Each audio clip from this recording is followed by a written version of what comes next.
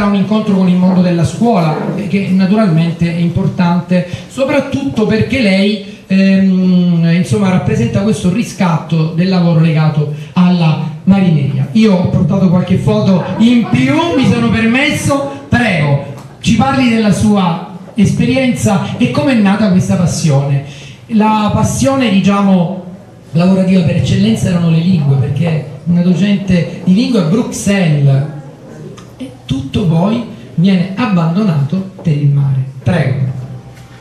Eh sì, con tanto di stage al Parlamento europeo, eh, dove mi occupavo di, di, turismo, di offrire il prodotto Sicilia, quindi una grande passione per, per il sud, un po' come voi, no? un po' come l'associazione e lo scopo dell'associazione però eh, legata come ero al territorio cercavo di fare qualcosa per tornare, per non andare più via, perché insomma essere eh, legati alla propria terra e fuggire ogni volta mi sono detta che non era più possibile.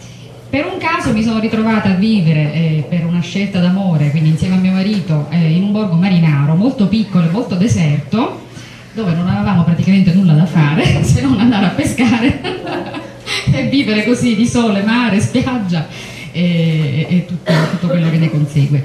Per cui eh, in un tempo non, non, sospetto iniziai con una piccola barchetta da 3,50 m che si chiamava Margheritina, perché mio marito affettuosamente, essendo piccola la barchetta, piccola io, d'età e tutto il resto, di statura, insomma, eh, cominciai a dedicarmi a questa, a questa, barca che ho adorato, perché io la carteggiavo, la pitturavo, insomma me ne sono occupato come se fossi un marinaio e non lo ero ancora quindi nessuno poteva mai credere che io avrei un giorno lasciato la carriera e tutto il resto per queste, per queste attività.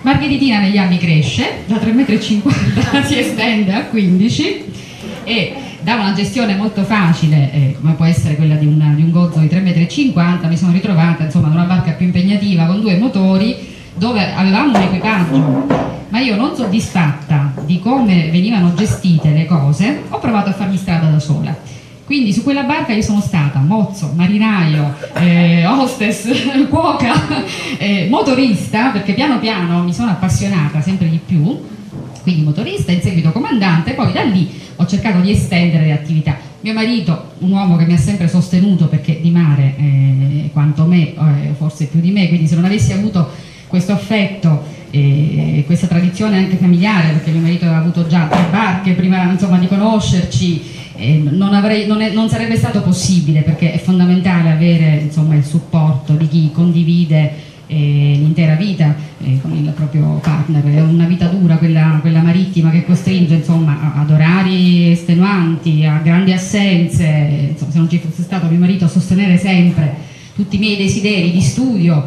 e di eh, pratica anche della, della navigazione, non, non sarei qui a parlare con voi stasera.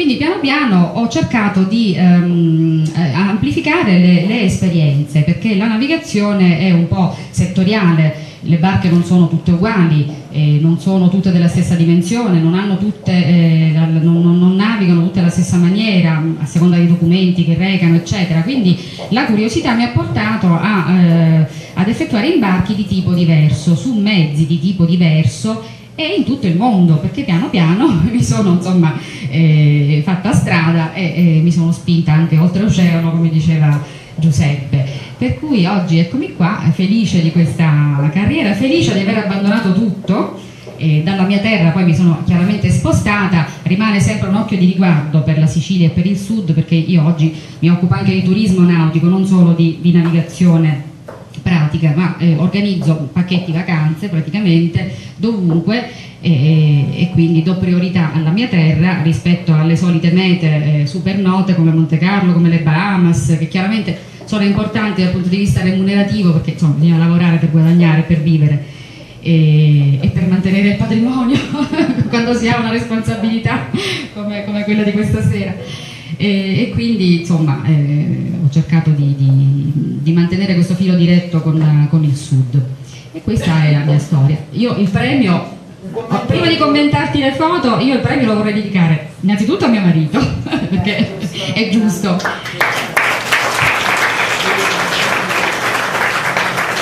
E, lo dedico a mio cugino anche, Ivan Drogo Inglese, il barone Drogo inglese, che eh, insieme a mio marito rappresenta un altro grande sprone per me, è un'altra persona che acclama continuamente le mie attività, piuttosto che demolirle come fanno in molti, perché giustamente di fronte alla femminilità e di fronte alla carriera che io ho lasciato si tende a dire ma chi te lo fa fare, ma perché, eh, ma è un lavoro pesante, è difficile ed è pericoloso, eccetera. Io sono testarda invece e non ascolto nessuno, sono felice e soddisfatta di quello che faccio. Ho sempre grandi progetti perché il mare è una fonte inesauribile di, di, di eh, di, di, interesse e, ed è infinito lo spazio che, che può offrire perché poi da, dal momento pratico si può passare al diritto della navigazione, si può passare all'economia del mare, a, a, tanto altro, cioè il risvolto intellettuale della, della professione che è quello verso il quale sto andando in questo momento.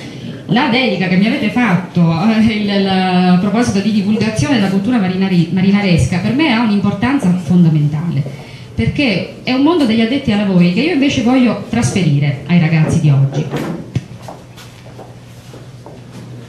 No, sto per, sto per concludere. Quindi dicevo che dedico il premio anche a mio cugino che mi sostiene tanto quanto ha fatto mio marito e, e, e, al nostro modello di riferimento familiare che ha unito le famiglie Lanza di Scalea e Drogo Inglese che è la principessa di Daliella, Annita Drogo che sposò Nicolò Lanza di Scalea e che è stata una donna di grande forza che ha fatto le sue battaglie contro un mondo maschile a terra, quindi un po' io ho preso questo modello, l'ho trasferito in mare e quindi dedico anche a lei. Donna Margherita ci deve raccontare vent'anni fa mi raccontavano riusciva a entrare in determinati settori perché la vedevano donna, erano tutti uomini dopo un po'. Tutti uomini cattivi e brutti che mi dicevano palesemente non prendiamo donne, quindi io che avevo il desiderio di fare la carriera mi sono trovata eh, di fronte a un mondo chiusissimo. Vent'anni fa non era come oggi, oggi qualche ragazza che vuole intraprendere la carriera da ufficiale si comincia a vedere, mentre vent'anni fa è stata dura, durissima, ho dovuto fare una grande, una grande lotta. E e quindi mi è costato grande fatica, ho impiegato molto tempo a raggiungere i miei obiettivi, ce l'ho fatta però insomma ecco perché voglio trasferire anche la mia esperienza ai ragazzi. Devo dire che appunto parlando, discutendo, eh, lei stessa faceva questo riferimento, il mare solitamente dall'aristocrazia perché insomma, appartiene eh, a una delle, delle migliori eh, famiglie aristocratiche europee, perché ci, dirà, ci, puoi anche dire le origini, da dove, da dove proviene eh, donna, donna, Margherita, mi diceva anche questo, che il mare solitamente dall'aristocrazia non è tanto... Insomma, considerato, tra virgolette. Beh, in genere la cultura aristocratica aborrisce il lavoro, o meglio aborriva, oggi non è più possibile, cerchiamo tutti di lavorare eh, perché non, non, è più possibile vivere come si poteva vivere un tempo. E quindi io non ho avuto aiuto da parte della parentela, piuttosto un atteggiamento demolitorio, come dicevo prima, e, e, quindi non sono mai stata una raccomandata, non sono mai stata spinta da nessuno, e soprattutto perché non c'erano questi rapporti con il mondo del mare. Quindi anche a volermi aiutare, anche se qualcuno si fosse un po' accorato, non sarebbe stato possibile perché è un mondo troppo degli addetti ai lavori, troppo avulso, troppo lontano da altre realtà eh, lavorative per cui ho fatto anche quest'altra battaglia. personale. Io mh, mm, prima l'ha detto, dedica appunto questo premio al marito che non c'è più, quindi facciamo un applauso perché insomma giovane quindi anche questo è un ecco, mi permetto di, di, di, dire, di, dire, di dire, questo. Mm, Donna Margherita, che cosa eh, ha appreso dal mondo eh, del lavoro a cui appartiene. Il rigore, intanto è venuta da sola, indipendente. E naturalmente mi ha detto io non ho paura del mare, figuriamoci di venire a Reggio Calabria da sola. Quindi questo è, è, che cosa c'è dal punto di vista lavorativo che lei insomma eh, ha, ha preso Beh, sicuramente la, la, il decisionismo fa parte di questo mestiere perché non si potrebbe gestire una gerarchia, un'impostazione gerarchica come quella marinaresca. E, mh, avevo già un caratterino da, da, giovane, è arrivata un po' più di disciplina con, con, il mestiere del mare sicuramente, un po' più di coraggio negli anni. Eh, fondamentalmente questo. E poi possiamo anche fare un riferimento eh, no, per, grandi, per, grandi, aree perché ha cercato di portare ecco, nel panorama eh, nazionale eh, la cultura eh, del mare e anche da un punto di vista politico perché è stata anche presente dal punto di vista politico eh, istituzionale, è stata un'esperienza, una parentesi della sua vita, eh, promuovendo che cosa? Prima la vicepresidente accennava alle Egadi se non sbaglio, ah, sì. ecco, quindi prego. Per molti anni mi sono dedicata al pescaturismo alle, alle isole Egadi, ho cercato di lanciare una forma di turismo nuova, visto che era uscita una legge un po' di anni fa, alla quale nessuno eh, dava uno sguardo per cui eh, io la trovo interessante insomma, unire, poi insomma, eh, si confaceva in qualche modo ai miei studi, avevo studiato lingue straniere, mi occupavo di turismo, eh, inserire, avvicinare la pesca al turismo mi, mi, sembrava una cosa interessante. L'ho fatto per molti anni, ho pagato eh, il prezzo della, della eh, dell'ambiente del sud che è sempre molto difficile, che ti abbandona quando sei pioniere in qualcosa quindi non c'è stata una spinta da parte delle amministrazioni, non c'è stata una spinta, una moda diciamo regionale, perché un singolo imprenditore fa molto poco. E con le proprie forze diventa un dispendio di energie e di soldi notevole e quindi poi a un certo punto ho abbandonato ma soprattutto perché è interessata ad altri ambiti della navigazione non tanto per, um, eh, perché è stanca dell'attività dell di pescaturismo però diciamo che per dieci anni eh, mi sembrava già sufficiente avere fatto questo, guardavo oltre. L'esperienza. Le fotografie, un commento ecco, questa è, questa è una, una, figlia diretta del pescaturismo alle isole Egadi. Qua siamo io e mio marito, eh, in seguito ad una battuta di pesca con, con le NAS che sono attrezzi da posta. E, ecco, io al timone. Questa è, una, questa è una foto scattata nel canale di Corinto, dove mi si è spento il motore quindi ho rischiato che quelli che stavano dietro mi venissero addosso poi per fortuna si è ripristinato. Ecco, qui ehm, sono in Fincantieri, eh, Fincantieri Palermo, dove insomma, ogni tanto vado a sentire un po' di, di, risvolti moderni della tecnologia, perché Fincantieri Palermo ha una grande peculiarità. Sono specializzati nel taglio e nell'allungamento delle navi da crociera quindi tagliano e allungano, fanno questi, questi lavori con una precisione di 5, con una, uno scarto di 5 mm, quindi la precisione è tale che nel taglio sono quasi perfetti, lo scarto è 5 mm, quindi mezzo centimetro di, di, di errore praticamente. E quindi anche in virtù della, del mio incarico come consigliere di Atena, questa associazione di cui parlava Giuseppe, io mantengo i rapporti con Fincantieri e con tutte le istituzioni che rappresentano la cantieristica o comunque la marineria e quindi Fincantieri Palermo mi sembrava interessante, azienda del sud per cui anche in, questo, in questa ottica. E qui sono in navigazione. Tra l'altro sono anche immagini... Qui eh, smonto e monto, perché non mi spavento di sporcarmi le manine, nessuno ci crederebbe mai, ma io col cacciavite sì. Qui è sempre in Fincantieri con una vecchia bussola. E questa non so dove l'avete presa. Non è sicuramente in navigazione questa foto così rilassata questa è la Paninuro invece ecco qui sono con il, il, capo dei piloti di Trapani altra corporazione importantissima perché tutte le navi quando entrano in porto devono essere assistite chiaramente un comandante non può conoscere tutti i porti del mondo e alcuni porti magari possono essere particolarmente difficili, adesso magari vi racconto la mia esperienza alle Bahamas, proprio sì. a proposito di navigazione complicata. Da poco alle Bahamas. Sono tornata da pochissimo dalle Bahamas. Sono approntata. E, e, quindi è necessario che qualcuno faccia un'assistenza. Questo compito viene svolto dal pilota che sale a bordo e assiste il comandante nell'ingresso in porto e quindi qua, qua, parliamo del piano del porto e, e c'è questa foto. Le prossime attività che Donna Margherita farà per quanto riguarda il suo ruolo quali saranno? Intanto ha invitato ah, ad Elge, eh, quindi questo è una, è, una, è una promessa che abbiamo che noi sappiamo dove dobbiamo andare, quindi già questo... Sicuramente, con tutte le coccole che mi avete fatto, questo è il minimo. sì.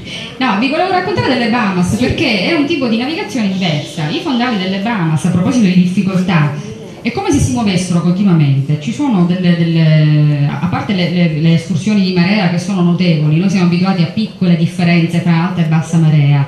Ci sono luoghi invece dove le, si dice escursioni di marea, dove le escursioni di marea sono molto, molto ampie, quindi bisogna nei vari transiti, se si fa un errore del genere, eh, la barca finisce incagliata e quindi è molto, molto rischioso. E si naviga all'antica, si manda un marinaio con una piccola barca in avanguardia e si, si, scandaglia il fondale con un mezzo marinaio, con un bastone, con qualcosa per controllare di volta in volta se coincide con gli strumenti elettronici che abbiamo a bordo, in questo caso con l'ecoscandaglio che ci dice la profondità eh, della, della, del, del mare. E quindi questa navigazione, questo ritorno alla preistoria quasi, questa difficoltà di fare gli attraversamenti di canali o di, essendo, le isole, essendo isole le Bahamas, capite bene che bisogna insinuarsi tra un'isola e l'altra, quindi questo problema si presenta continuamente con un grande dispendio di tempo e di, di energie perché si dorme un po' meno dovendo fare tutte queste operazioni e poi è un fondale che si sposta, che cambia continuamente e che non coincide con le carte nautiche perché ha questa caratteristica.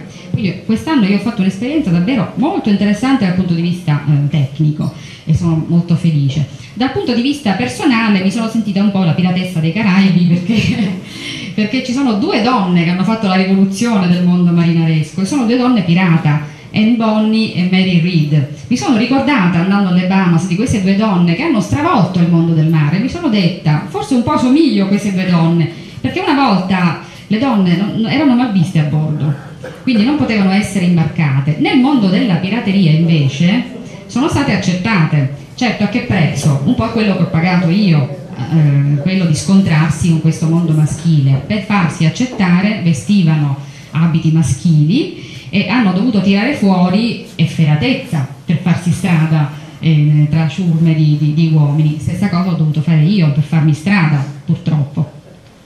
E oggi, anche se sembrerebbe superato, il problema in realtà non, non lo è. Queste donne, tra l'altro europee, sono diventate eroine del, del, nuovo, del, nuovo, mondo, quindi mi sono un po' sentita pirata anch'io.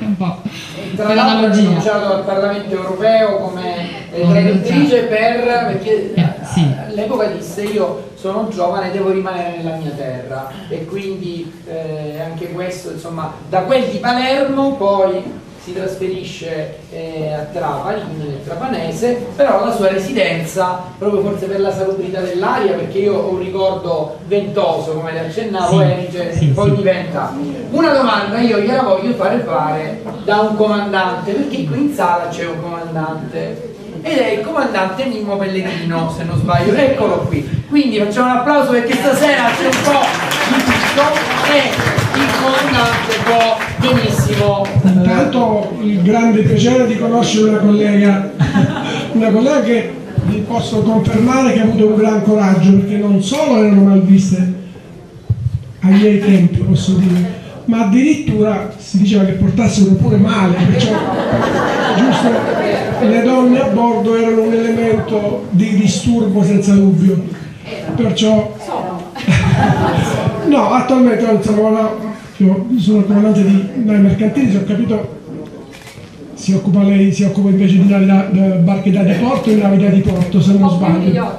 Eh, sì, un, po', un po' di yachting che bisogna, rispetto a noi che siamo molto più specializzati, noi siamo un mercantile, c'è la coperta, c'è la, qua è un po' più complicato devo dire, perché devono essere pratiche anche di, eh, di motori.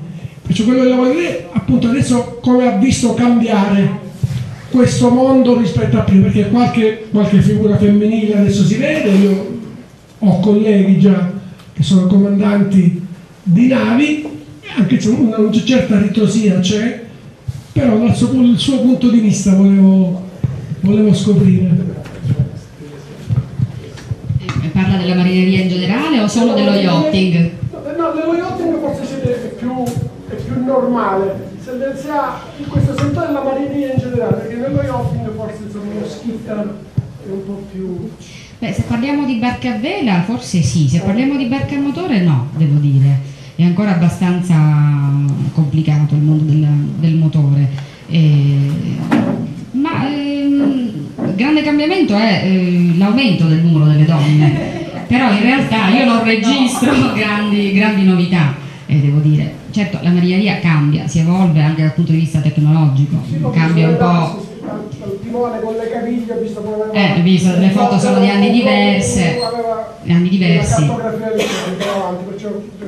Sì, sì, c'è questo della bussola, però sono tornata alle Bahamas alla preistoria con questa, questa navigazione all'antica, quindi non vedo grandi, non registro grandi, grandi novità per la verità, se devo essere sincera. No, no, no, sono felice che adesso le ragazze che decidono di studiare al nautico, sono ancora pochine, però ci sono. No, senza, non si ritrovano? Negli anni 70 c'è al nautico, ce n'era una. Una. Ora vengono a bordo per fare l'alternanza scuola-lavoro, vedo che... Sì, poi magari non proseguono perché non sono invogliate, perché eh, manca questo, questo, stimolo nei confronti della, della, del mondo marittimo.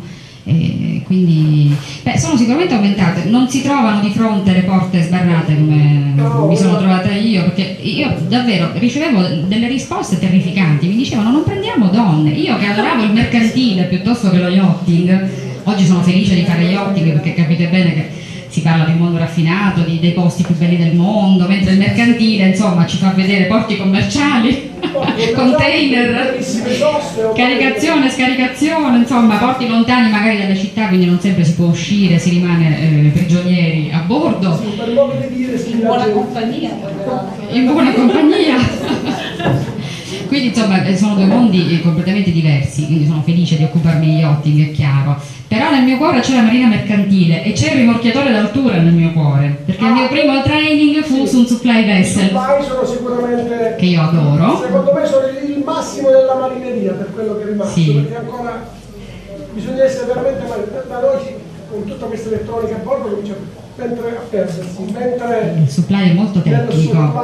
Sì. L'anno scorso ho, fatto, ho, partecipato ad un progetto di un mese e mezzo, abbiamo fatto lavori su un pozzo petrolifero e ci siamo divisi tra la Spagna e la Puglia ed è stato interessantissimo, io ho dormito pochissimo ma ero così felice perché tornavo ai primordi, perché il mio primo training è stato su un supply, ho fatto sei mesi pieni per cui io ero felicissima di tornare indietro, non mi hanno mai voluto e quindi mi ho abbandonati per lo yachting. Si a bordo, si deve dormire quando non si ha sonno, si deve mangiare quando non, non si ha fame, perché non si sa mai se il giorno dopo ci sono...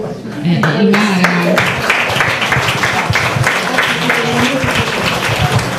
In conclusione, donna Margherita, che cosa porta con sé da, da Reggio Calabria in quella di Erige, anche se eh, insomma eh, viaggi ne fa tanti, conosce diverse realtà. Da questa realtà quando io insomma eh, l'ho contattata non era molto sicura, sicura, sicura, sicura, ma io ho detto si può fidare tranquillamente di noi e mi ha dato anche una grande soddisfazione. Perché quando io ho comunicato della consegna del premio Muse eh, ha avuto riscontri perché in Sicilia si parla molto del premio Muse. Anche lei stessa eh, venerdì era una presentazione di un libro eh, poi...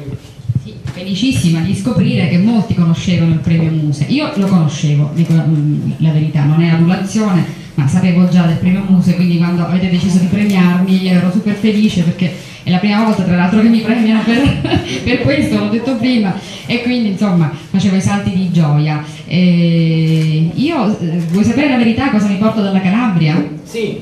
Però è la, è la verità, mi devi credere, io mi porto voi. il vostro e affetto, davvero, grazie. Grazie, grazie alla principessa Margherita Lanza di, di Scalea. Eh, sono arrivate anche altre personalità. Eh, prima facciamo fare un saluto alla mia presidente Arisco, Associazione Sangue Cordone Umbilicale, perché sapete benissimo che siamo eh, sostenitori anche noi, la signora Franca Renatucci, e sappiamo con quante difficoltà, ma è qui presente. Un saluto, prego. La lasciamo eh, al suo posto, non si preoccupi. Sì, io chiedo scusa a tutti perché non mi alzo eh, perché è un anno che sono ferma per la frattura di vertebre e quindi è una cosa abbastanza seria. Ma questa sera non potevo proprio non venire, a costo di morire, così come sto, sono arrivata.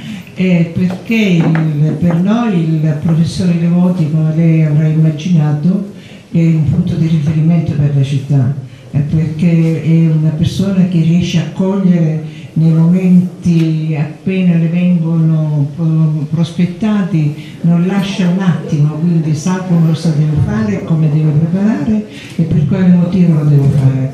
Io lo ringrazio perché lei, dato che ha parlato del cordone ombelicale, abbiamo questa bellissima realtà in città e di cui il professore è stato uno dei primi sostenitori e soprattutto che ha dato largo spazio perché noi qui a Reggio abbiamo parlato di queste cellule staminali quando ancora in Italia non si sapevano.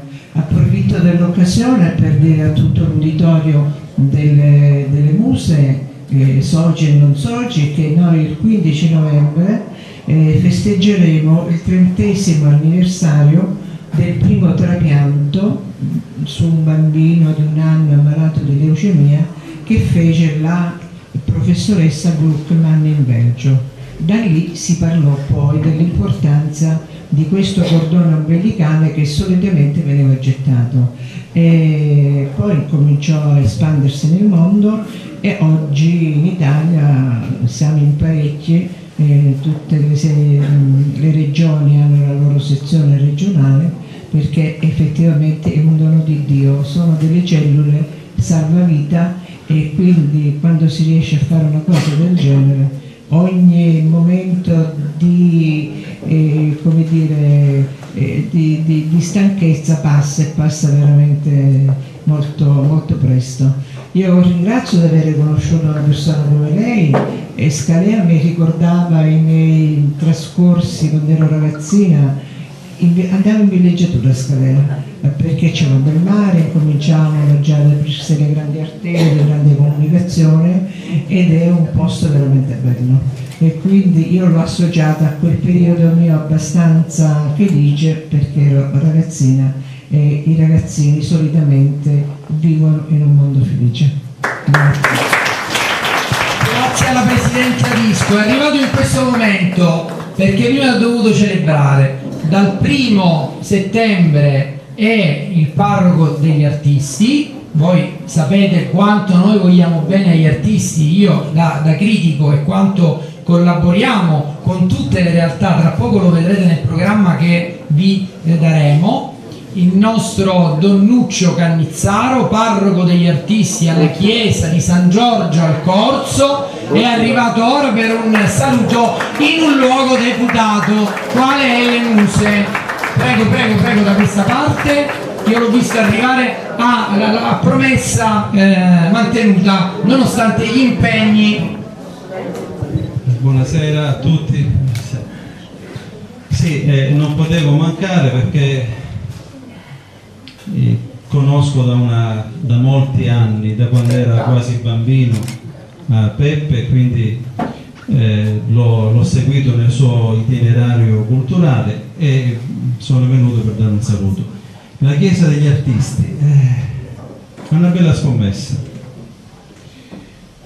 Io credo che questa città ha bisogno di arte, lo dico sempre anche nelle mie prediche, perché il degrado di questa città è segno di una decadenza culturale. E purtroppo la carenza della cultura in questa città è fortissima.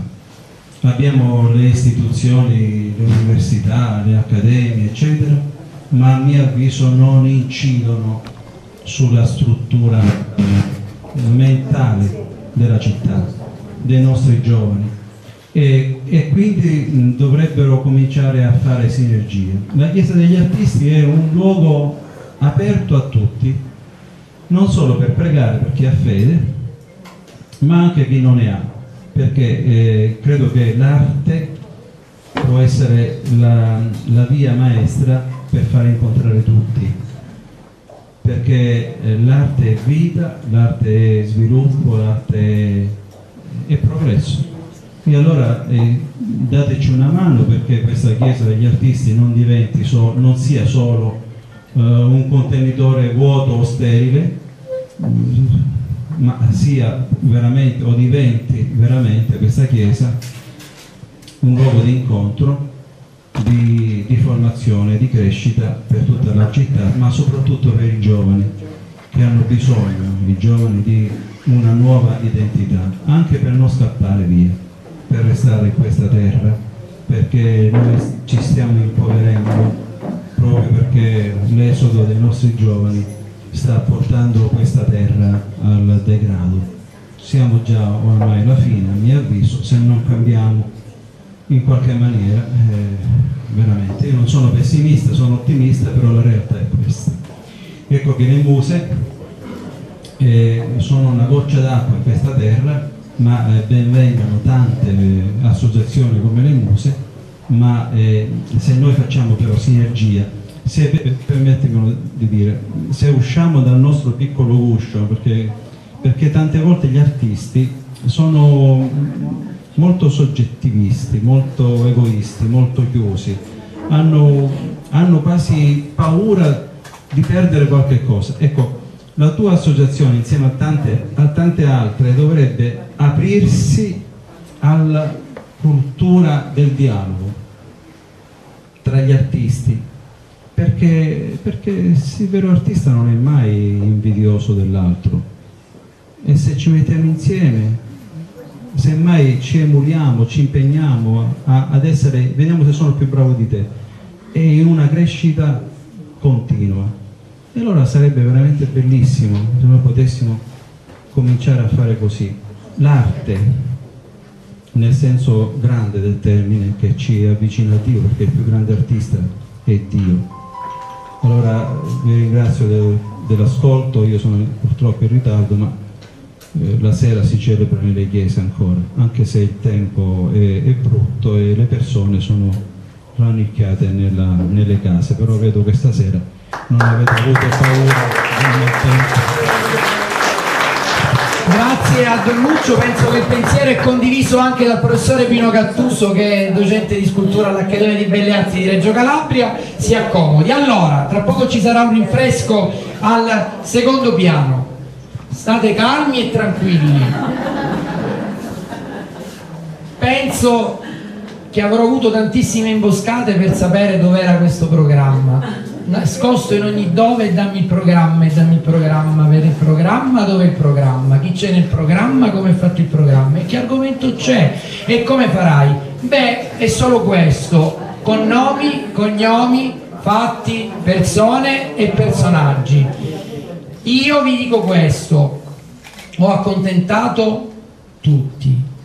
Io mi auguro di non avere fatto grandi eh, strafalcioni? Mi penso di no, perché io ho cercato di fare rete con tutti.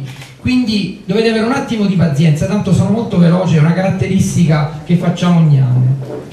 Lunedì 29, domani, saremo alle ore 9 al liceo scientifico Volta, eh, ci accoglierà la preside Palazzolo con la nostra principessa, donna Margherita Lanza di Scalea. Incontrerà il mondo della scuola novembre, domenica prossima, qui alle ore 19, si terrà l'appuntamento con il Festival Teatrale Miti Contemporanei diretto da Teresa Timpano e avremo eh, la stralci da Ecuba di Euripide, una scenografia bellissima con delle fiaccole, capirete che cosa che cosa ci sarà non posso dire di più. Questo festival itinerante che va nei luoghi deputati della cultura. Venerdì 9 Venerdì 9 inizia il protocollo con l'Archivio di Stato, quest'anno i video dibattiti delle muse, il nostro cinema che da tanti anni viene fatta e che mi hanno detto tra l'altro inizia a essere copiato e tutto noi lo dobbiamo alla nostra referente, sempre presente e mi auguro che lo sia anche di più quest'anno, la dottoressa e critico cinematografico Paola Abbenavoli che è qua e che facciamo un applauso per la sua collaborazione.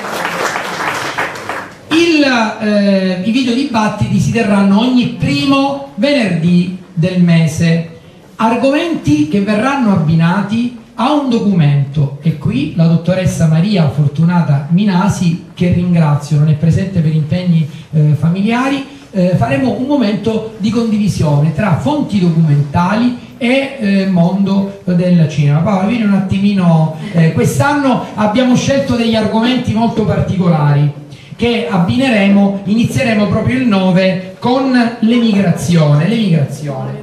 Quindi... Com'è il cinema in Calabria? Eh, il Calabria ha anche una sua vitalità, soprattutto in questi ultimi anni, è molto legata al territorio, quindi molto attento al territorio. Insomma, questo è un tema che mi sta molto a cuore, quello dello sviluppo dei territori anche attraverso il mondo dell'audiovisivo e speriamo insomma, che sia sempre, che vada sempre più avanti in questa direzione. Ringrazio e ringrazio appunto i soci per avermi seguito sempre in questi anni in questa bella, bella iniziativa voluta dal Presidente. Non sapevo che era stata copiata, ma insomma, ma quando li copiano vuol dire che le cose vanno, sì. sono Grazie. Grazie a Paola, amica di lungo corso. Domenica 11 novembre un argomento molto particolare, è, è, presente qui in sala, io la saluto e la ringrazio, è una scrittrice che alla sua prima lo è diventata perché ha dato alla stampa una storia personale molto forte che vi racconterà qua, quindi vi inviterò poi tutti a venire domenica 11, La vita oltre, non vi posso dire di più. Ci sarà Antonio Nicolò, anatomopatologo, Santino Salerno, critico letterario da quel di Palmi di grande spessore, Patrizia Pipino, la scrittrice che è qui mh, presente, e poi ci sarà Samuela Piccolo, ballerina e coreografa, e l'avvocato Rocco Iorianni. È una mostra degli artisti delle muse che ha per titolo Ri.nascere, ma di più non vi diciamo, è una storia molto forte che è accomunata da un problema attuale che naturalmente il, la società sta cercando di combattere sono le malattie eh, quelle importanti. Però noi ve lo racconteremo a nostro modo con un libro che veramente parla al cuore.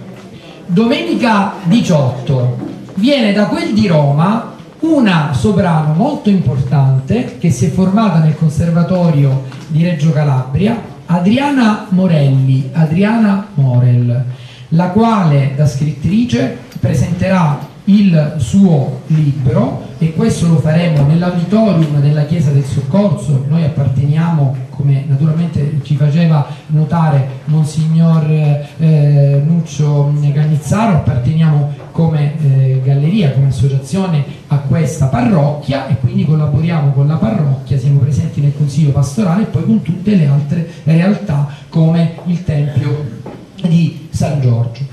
Nell'auditorium alle ore 18.30 presenteremo questo libro, Ineffabile presenza.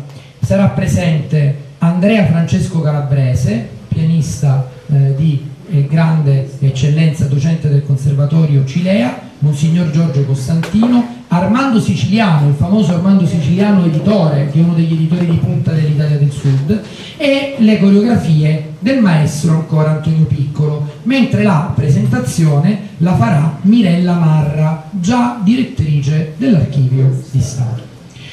Lunedì 19, purtroppo eh, per un problema di viaggi abbiamo la domenica un nome importante, il lunedì ne abbiamo un altro ancora di più importante, perché volete sapere chi viene lunedì 19 qui alle Muse? È autrice, ghostwriter e copy editor, redattrice con Mondadori e Sperling e Caffer, esattamente Nicoletta Bortolotti, che presenta il suo ultimo romanzo chiamami sottovoce, è una delle più quotate attualmente e quindi l'avremo qui e la presenterà la uh, dirigente Franca Francesca Fedele, già dirigente scolastico dell'Istituto Nosside. Ben, domenica 25 novembre iniziano i nostri piccoli viaggi culturali. Perché? Perché andremo in quel di Sant'Ilario sullo Ionio partendo il pomeriggio in quanto presso il Palazzo Speziali prima andremo a vedere il nuovo Museo delle Tradizioni Popolari che è molto bello. Ma alle ore esattamente alle ore 18 faremo una cosa importantissima. Faremo una manifestazione che ha per titolo Impegno Civile.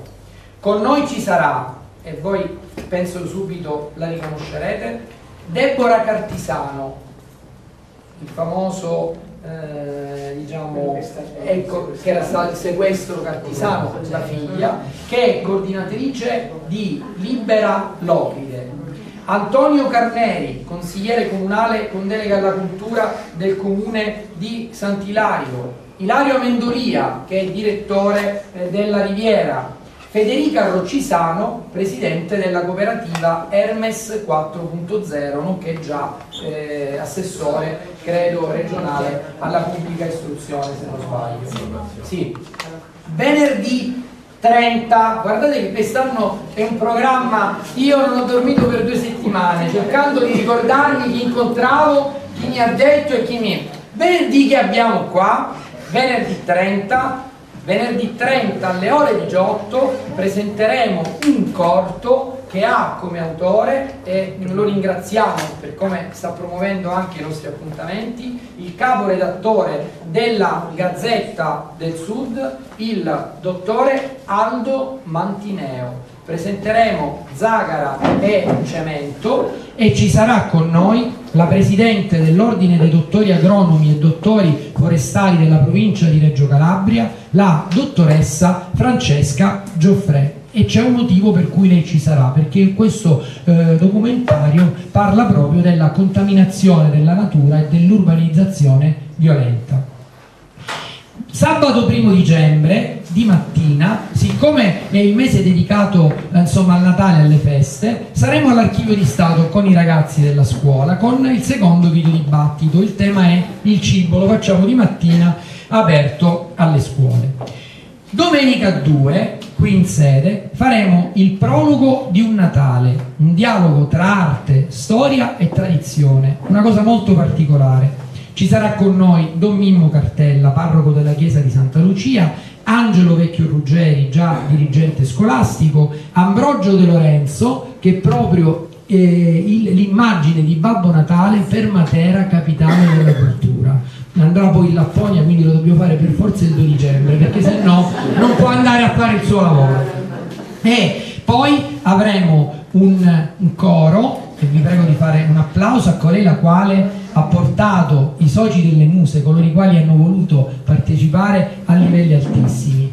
È un riferimento per la musica corale a Reggio Calabria, la nostra referente del coro, la professoressa e il maestro Enza Cuzzola, che ci porterà quel giorno. Aldo Enza, vieni, vieni un attimino, no? ci porterà il coro Laudamus che è diretto tra l'altro non solo da Enza ma anche da sua sorella Marina. Sono due sorelle gemelle che fanno anche la stessa attività. E grazie per il lavoro che fai con noi.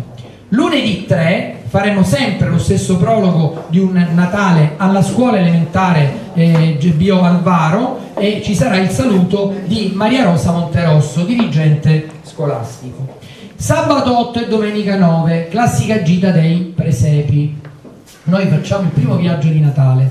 Andremo nel Leccese ed esattamente a Castro e a Maglie. Sono due cittadine bellissime, ma i viaggi che facciamo noi non li fanno gli altri, se no perché? E andiamo avanti. Dopo questo, eh, abbiamo, eh, il, dopo questo viaggio, sabato 15 Sabato 15 inizia il protocollo col comune di Staiti. Col comune di Staiti faremo nel pomeriggio e inaugureremo presepi degli artisti delle muse nel borgo. Abbiamo identificato i catoi, le case più rappresentative, verrà fatta una cartografia, i presepi verranno dislocati all'interno degli edifici storici di tutta Staiti. Quindi il visitatore per tre settimane potrà andare e visitare eh, chiaramente ci sarà l'inaugurazione, ringraziamo il Presidente del Consiglio Comunale, appunto Leo Campanella e il Sindaco Giovanna Tripodi. Domenica 16 avremo la Santa Messa dell'Associazione Le Muse presso la chiesa del soccorso con il coro delle muse diretto dai maestri Enza e Marina Cuzzola al pianoforte Rosaria Voti alle ore 20 la cena dei soci e quindi l'immissione dei nuovi soci. Vi posso dire che abbiamo avuto un buon riscontro faremo la consegna del distintivo e la cena presso il ristorante La Lampara Marte, mercoledì 26, il giorno di Santo Stefano, faremo qui il classico eh, tomboliere molto particolare, tombolier muse, poi capirete che cosa è. Venerdì 28 presenteremo la nuova pubblicazione del libro di poesie della poetessa e socia delle muse Teresa Celestino e sabato 5 gennaio faremo il classico viaggio che conclude le feste, il viaggio della Befana e quindi durerà un giorno, vedremo dove andremo. Venerdì 11 saremo all'archivio di Stato, sempre nell'orario alle 18 con Paola Benavoli, si parlerà di disabilità perché gennaio è, è il mese dei disabili, quindi i video dibattiti saranno collegati ai disabili. Domenica 13, i nuovissimi Conversazione alle 18 con Sasha Sorgonà, presidente dei giovani imprenditori della Confcommercio, Enrica BV, stilista, Lucia ed Agostino Azzarà, artigiani e designer del legno e eh, il psicoterapeuta il dottore Guido De Caro. Quindi vedremo questi nuovissimi, questi giovani oggi come si muovono nel mondo del lavoro e della creatività. Domenica 20 alle ore 18 primo, secondo e frutta. Avremo Anna Siviglia e Michele Carbone del pastificio Carbone quindi parleremo di pasta. Avremo Giuseppe Bellè e Francesco Angelone e parleremo della nona di Calabria. Avremo Anna Beatrice Panzera del frantoio Panzera parleremo di olio e Giuseppe Ghindemi che è nutrizionista e biologo. E faremo una collettiva d'arte dal titolo Piatti Domenica 27, Reggio, Visioni e Pensieri.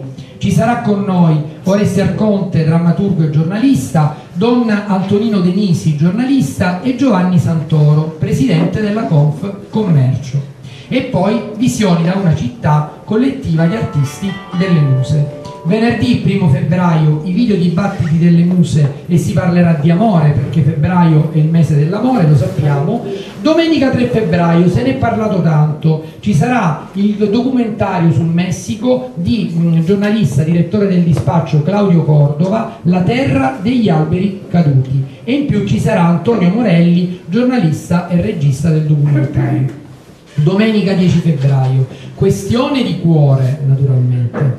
Avremo Giuseppe Cartella, psichiatra e neurologo, Renato Vigna, avvocato e componente osservatorio nazionale carceri Unione Camere Penali Italiane, Rosalba Pristeri, docente di filosofia, Menia Cutrupi, imprenditrice e motivatrice.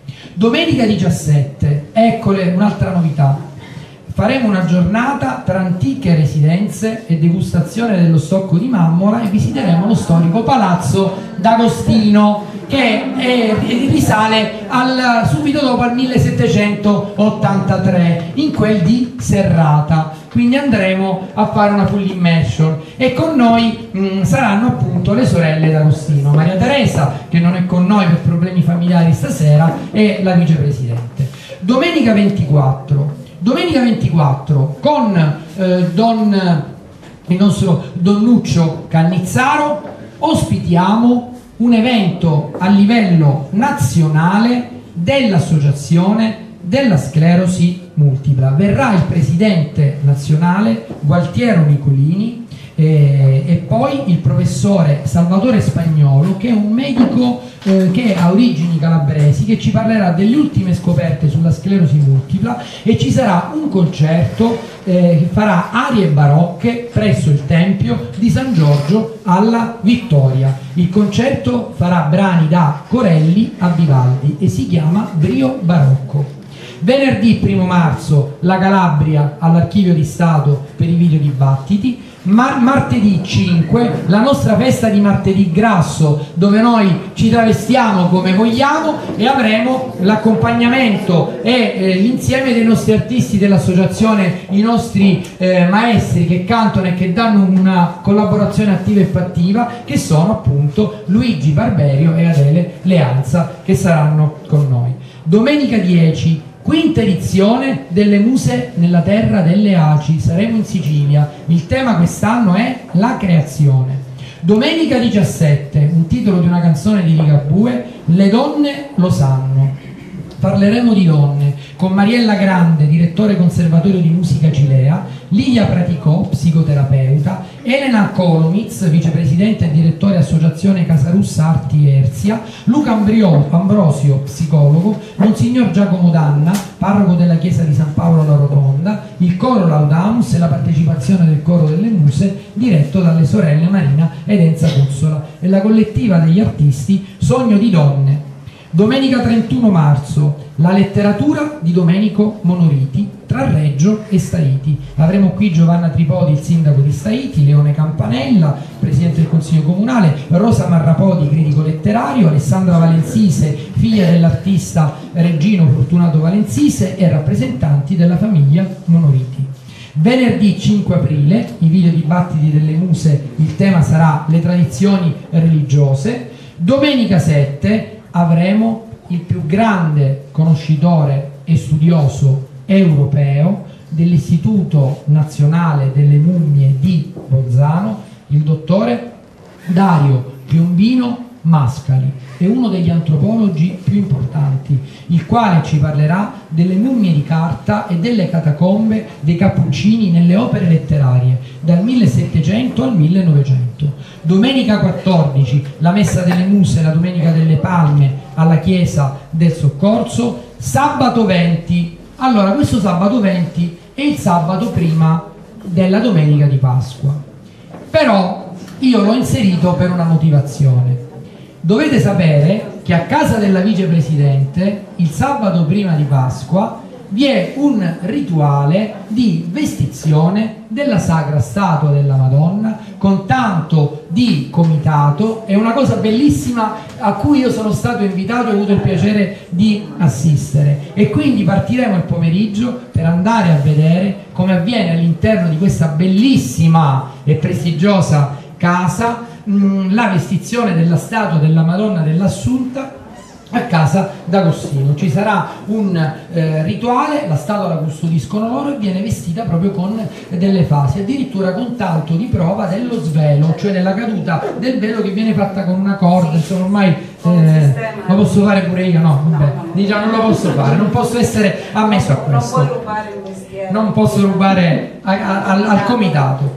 Domenica 28 prova aperta avremo il momento finale del laboratorio di lettura interpretativa dell'attrice Teresa Timpano perché quest'anno faremo sempre il laboratorio di lettura interpretativa venerdì 3 ah, ci sarà pure con noi la psicologa Dominella Cogliata il 3 maggio, venerdì, l'ultimo video dibattito all'archivio di Stato di mattina, scuole a confronto. Domenica 5, quest'anno, l'evento regionale degli artisti al decimo anno, organizzato da Giuseppe Rivoti come muse, Marisa Scicchitano per quanto riguarda la galleria Zeusi e l'associazione Arte Club Accademia di Catanzaro e Anna Lauria eh, che è mh, praticamente la presidente eh, dell'UNESCO per quanto riguarda la poesia in Calabria, abbiamo organizzato eh, l'evento a Monterosso Calabro. Sabato 11 saremo al complesso monumentale di Catanzaro perché avrò il piacere di presentare una mostra del movimento nazionale del dinamismo cosmico, che è un nuovo movimento di tendenza eh, artistica e di cui la nostra Marisa fa parte e quindi faremo questa mostra in un luogo deputato. Domenica 12 al soccorso, faremo la prima rassegna di musica corale diretto da Enza, da Enza Cuzzola dedicata alla Madonna, domenica 19 avremo il giornalista Enrico Antonio Cameriere, scrittore e fotografo con Agostino Belcastro, ci parleranno del cuore caldo di New Orleans tra cibo e peccato, domenica 26 saremo a Bocale in Fiore, Quest'anno presenteremo la natura, la fede e l'arte, itinerari bizantini con Aurelio Galtieri. L'1 e il 2 giugno la gita di fine anno e per concludere vorrei eh, nominare gli artisti delle muse. Daniela Campicelli, Adele Leanza, Cristina Benedetto, Raffaele Arena, Anna Lauria, Antonella Minasi, Mimma Gorgone, Pina Calabrò, Domenico De Lorenzo, Angelo Meduri, Saro Lucifaro, Rossella Marra, Angelo Triolo, Grazia Papalia, Renato Amodeo, Doro, Simona Scopelliti, Antonella Laganà, Santa Maria Milardi, Marisa Cecchitano, Nunzia Gimondo, Giancarlo Arturi, Manuela Lugarà, Ilario De Marco, Elvira Sirio, Daniele Calabrese, Maria Teresa Gereto, Francesco Logoteta, Pierfilippo Bucca, Sebastiano Brutino, Pino Gattuso, Daphne Nocito, Cinzia Ferro. Il coro delle muse proverà ogni mercoledì dalle 19 alle 20, i video dibattiti ogni primo venerdì del mese, il corso di lettura interpretativa il 3, 10, 17, 24 e 27 aprile, il laboratorio invernacolo verrà fatto con le prove ogni giovedì dalle 19 alle 20 e durante l'anno presenteremo nelle scuole il vocabolario del dialetto reggino eh, diretto dal dottore Salvatore Ventura. Per concludere voglio chiamare qua, e mi sembra giusto, i, personaggi che forse ancora non conoscete tutti del direttivo. Partiamo dalle segretarie, le professoresse Mimma Conti e Rosaria Livoti, quindi li vedete così avete anche un, ciao un applauso.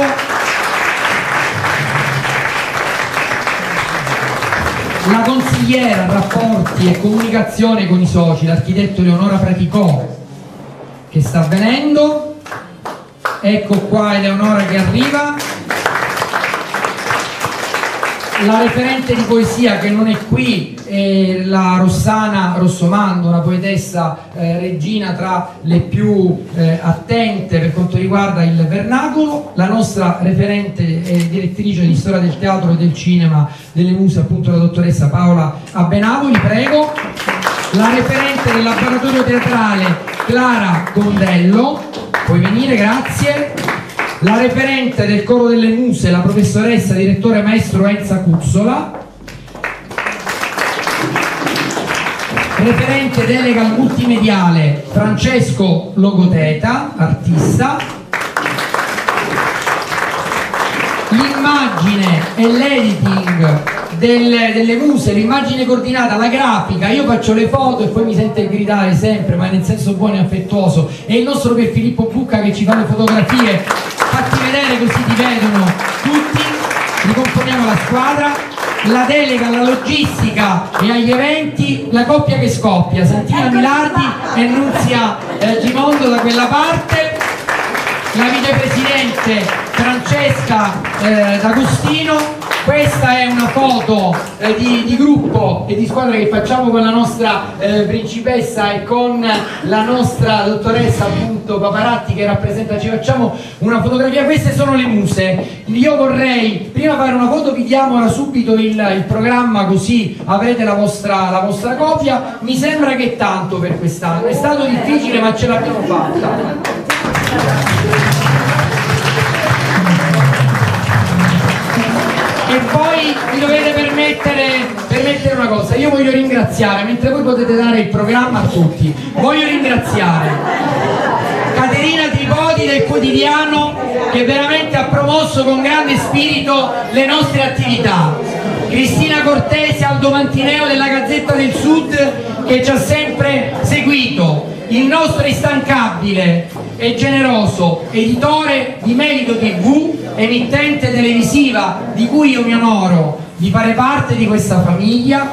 Presto eh, vedrete in chiaro anche dalla parte insomma, centrale della città che è Merito TV, il canale 817 un emittente che segue la cultura quella vera e quindi l'applauso va al nostro editore il dottore Bruno Taverna e al nostro instancabile tecnico che ci sopporta, ci supporta, che è Dario Mudeo, che ha ripreso tutta la manifestazione. E questo è un, veramente la forza della nostra associazione. Abbiamo fatto una famiglia, una squadra una serie di rete e di, rete di relazioni che naturalmente promuoveremo con tutti voi perché noi non abbiamo nessuna, nessuna come si dice, sbarramento ma noi facciamo quello che ci piace fare. Quando le cose sono fatte col cuore probabilmente voi siete la testimonianza che questo cuore ehm, si comunica. Anche perché la nostra finalità è fare, come dico sempre io, la cultura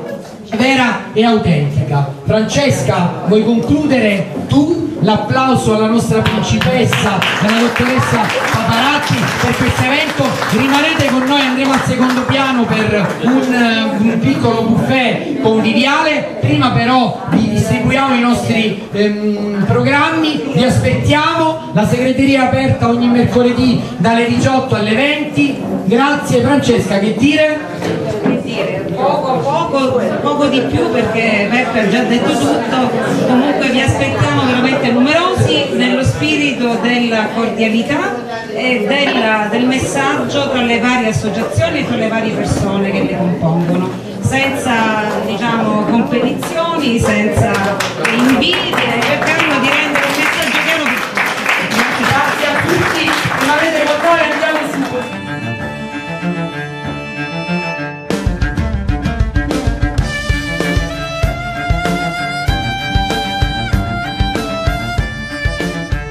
troviamo in, presso il liceo scientifico Alessandro Volte, esattamente nell'aula Socrates, in un eh, liceo scientifico di prestigio della città mh, di Reggio Calabria. Ritorna il premio Muse 2019, in questo caso con la principessa Margherita Lanza di Scalea, per un incontro con i ragazzi in un istituto che eh, naturalmente eh, vanta in Calabria l'indirizzo sportivo e anche l'idea di un campus eh, innovativo diffuso nella zona del Rione Modena eh, della, della città. Naturalmente ringraziamento va alla preside eh, Mariella Palazzolo, il dirigente scolastico che accoglie eh, anche le associazioni e i sodalizi come le Muse in un incontro come questo, ma in questo caso il saluto istituzionale oggi è eh, dato dalla vicepreside del liceo scientifico Volta, la professoressa Anna Borrello. Eh, buongiorno, per noi è stato un grande onore poter ospitare oggi l'Associazione Culturale Le Muse, eh, Sa Margherita Lanza di Scalea, eh, premio Muse 2019 che ha intrattenuto i ragazzi eh, facendo loro eh, immaginare e soprattutto eh, pensare ad un futuro che non sia il solito futuro, cioè un futuro legato al territorio, quindi al mare e agli nuovi mestieri e nuove possibilità lavorative che vengono vengono dal mare, quindi ingegneria, ingegneria navale, quindi avvocato marittimista, quindi tutte le altre professioni che possono appunto eh, dare ai giovani un nuovo futuro in, un, uh, in una realtà come la nostra che se non pensa al territorio, alle capacità che, e alle possibilità, alle opportunità che il territorio offre, probabilmente non lascerà per loro spazi e possibilità di ri rimanere nella loro terra.